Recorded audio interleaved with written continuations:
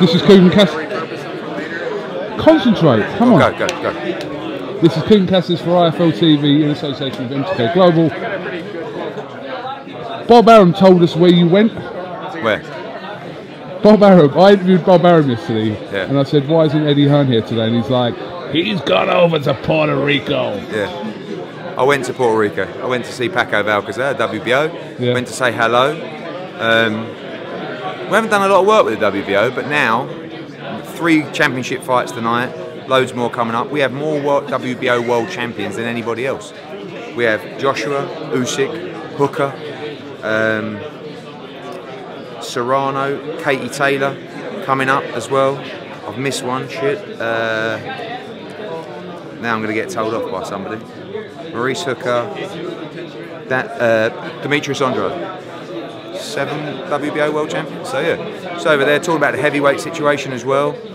Um, You must have gone over there for more than just a chat. No, it's dinner. Oh, oh, oh, dinner as well. it was dinner, All right, so yeah, it's good. bit random. Um, okay, but productive. Yeah, it's good. It's just social, social. Talk to me about this show. Big show, big signing. Guy I've been after for a long, long time. Dimitri Bivol. I think he's the best light heavyweight in the world. Um, I've been chasing him since he boxed on our Monaco show to sign with us. He knocked out um, Yeah, in uh, in one round. Trent Broadhurst. Yes. And Vadim and World of Boxing, who we're working with, probably got one of the best stables quality wise in world boxing. You know, Gassiev's on the show, Kuzmin's on the show as well. Um, they're very, very loyal people, and they really. You have to build your trust with these people. You know, Vadim, Andrei Rybinski, classy people who will, will sign with the people they believe in, with the people they respect. And I think through the Povetkin fight and other fights we've done together, they realise we're the best in the business. And they wanted to be with us. And I'm over the moon that on the back, particularly of the Canelo Jacobs deal, we announced March 9, Dimitri Bivol against Joe Smith Jr., Maurice Hooker against LesPierre, and um, just massive momentum now for DAZN moving forward, and so much big news coming. And I've got such a big mouth that I just want to tell you what's going to be happening soon on DAZN, but I'm, I'm keeping it down. Um, will Callum Johnson feature on this card against be on Sean one or our Philadelphia card, which Fine. we'll announce next week. I'm just sorting all that out. I'll sort that out over the weekend. We're going to be announcing our Philadelphia card on Monday. Press conference for that will be next Thursday or Friday. Um, That's the one Katie Taylor will obviously. Yeah, and then obviously we've got our Liverpool press conference on Wednesday as well. So Next week, Wednesday? Wednesday, yeah, yeah. Is that all right for you? Yeah. Oh, thank God for that. Um, obviously, you announced Canelo and, Jacobs Yeah. May the 4th, likely to be in Las Vegas at T-Mobile. Yeah, I mean, look, we're, we're co-promoting the event, but obviously Golden Boy have the A side. They're going to be telling us where it is, but as I believe, it's going to be in Las Vegas. I hope so. And uh, I just, I'm so pleased with Danny Jacobs, you know, because Danny Jacobs was the first guy that took a chance with me in America, and after two fights, like after. Um, after uh, Arias and Sulecki, people were saying, like, especially that boxing voice geezer, what you done for Danny Jacobs, man? Oh, you think you done a good job for Danny Jacobs? Like, hey, as it happens, I've done a good job for Danny Jacobs. You know, we got him a world title shot against Derevyanchenko. Now he fights in the biggest fight in world boxing available to him for a fortune. So yeah, and I believe, I believe Danny Jacobs can beat Canelo. I really, really do. I think Canelo, what you know, to, to sign a deal like this and to dive into a fight like Danny Jacobs when he didn't really have to. We wanted him to, DAZN wanted him to, but in the past, loads of fights haven't happened by teams just going, no, no, no, we don't want that. This is a tough fight, and I have to respect Oscar De La Hoya and Canelo for taking this fight. Because for DAZN to move forward, it's all very well, and no disrespect to Rocky, because he's our fighter, but it's one thing putting Rocky Fielding against Canelo on the platform, it's another thing putting uh, Canelo against Danny Jacobs on the platform. You US fight fans out there, you're spending $80, 85, that's a $90 pay-per-view. You're not even paying any extra money. This is part of your $9.99 subscription. It's unbelievable. And wait till you see the other fights that are going to be dropping soon. Will any of your other matchroom fighters feature on May the 4th card? Yes, they will. Um, got just talked to Eric Gomez last night about. I'd like to do John Ryder against uh, David Lemieux. Really? Uh, yeah, and a couple of our other guys as well. Um, yeah, so we're going, we're having fights on each other's cards off, often. Obviously, we just had Tevin Farmer, Katie Taylor on the card, on fielding card tonight. They've got Jorge Linares on the card, so it's working really well. I've got to ask you about um, some comments from Dillian Whyte. Obviously, he's out in Las Vegas for Pacquiao Broner, and uh, he's kind of, I don't know, people have kind of picked up Yeah, yeah. on some of his comments saying that you know he's a free agent Yeah, and all a free but, agent. but he works on a fight by fight basis with you, and that's always how it has I been. I have many of my fighters who I have a very good relationship, who I presume I have trust with and do a great job for. I work with on a fight by fight basis. Bellew Bellew is another Yeah, great example. So I sort of sometimes work on the proviso that if you don't think I'm doing a good job for you, if you don't like me, if you don't respect me, you'll go. But that's okay. And if Dillian Whyte wants to go, I'm presuming I've done a great job for him. I think he thinks the same. But nothing surprises you in boxing. If he wants to go elsewhere, he'll go elsewhere. But you know, I don't know. I mean, you never know with Dylan. Did you see Frank Warren's interview? yeah, yeah, I saw Frank. Yeah, yeah. Uh, well, it's the same with the, it's, only the same, it's only the same with a Frank with a uh, Tyson Fury stuff. You know, Fury's calling me up. We're speaking.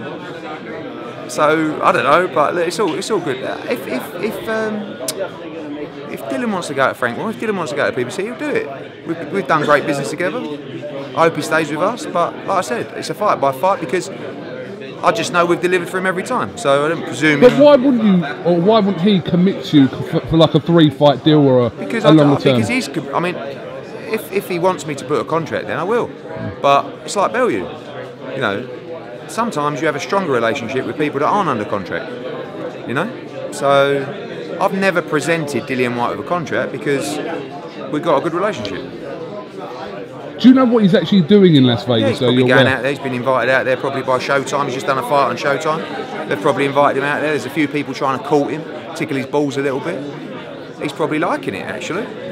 But you know, like I said, I think we've done a great job. He's got to number one in the WBC. He's got to number number one in the WBO, mainly because of his wins. But I've made him millions of pounds uh, on pay-per-views.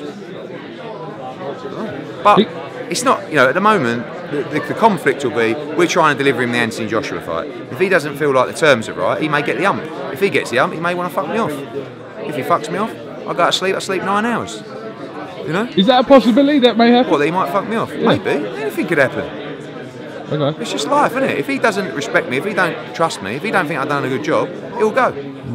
If he does, if he's honourable, if he thinks I've done a good job, he'll stay. But I don't, I don't know. I would presume so. We've got a good relationship. He also said that Klitschko was lying about him coming and saying that his comeback rumours were. False news or whatever. But there's reports of him signing a free fight deal with DAZN, so you must know something about I that. I haven't spoke to Klitschko. But what about these reports? I don't know. Two warm-up fights. Come on, Eddie, you've seen it. Is he coming back? Is he fighting Dillian Whyte on the 13th? No. Definitely not.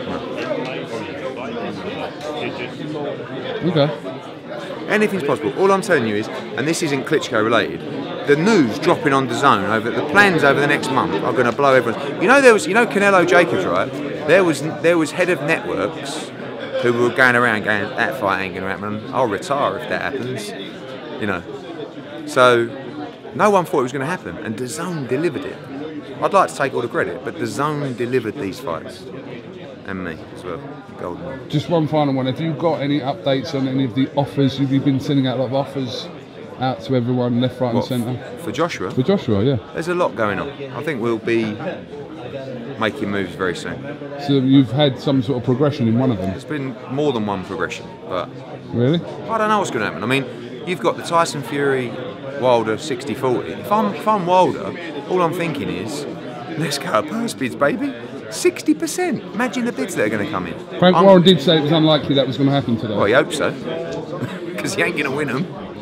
but you haven't actually offered Tyson Fury a 60-40 split, have No, he you? didn't. He said, I don't want a 60 40 split. Right, but you, you, you said you'd money. be willing to give If him he wants 60. it, no problem. Right, Wilder wants it, no problem. It's out in the open now. right. But he asked not for a 60 40 split. So when Frank says he didn't offer him 60, no, you're quite right. I offered him the money she asked for. I don't think Frank and Ty, I don't, they, can't really talk, but Well, they're um, with each other today, so they? perhaps Okay, they maybe do talk. Well, I don't know because Yeah. no, Frank ain't phoning me. So, I don't know. But you said you two should get round the table if you Who want to that? discuss fight. Frank Love to. Yeah?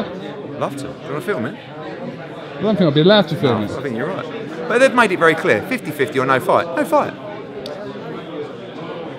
Like 99.9% of the same people in the world think 60 40 for the four belt unified heavyweight champion in a voluntary defence against Tyson Fury is very fair. They don't. Are you going to be upset if I title this video? I'd love to sit round the table with Frank Warren to discuss the fight. Is that what you're saying? do if he wants. If he wants to call me up, but he ain't calling me up. The fighter's calling me up. I'm speaking to the fighter. I don't. I don't know who's got the contract. I don't want to interfere with any contract, but But why are you talking to the fighter and because not the, the? because that's the convers- that's the conversation route. Oh. It's not me pestering a geezer, chasing him around in Marbella. Like it's just I've asked where I've got to send the offers. I've not been asked to send the offers to Frank Warren, so I don't know the situation. Fair enough. Good luck with your show tonight. Cheers, Maybe old we'll chat after your show tonight. Why are you guys so tall? Why are you Brits so tall? We've got to go soon.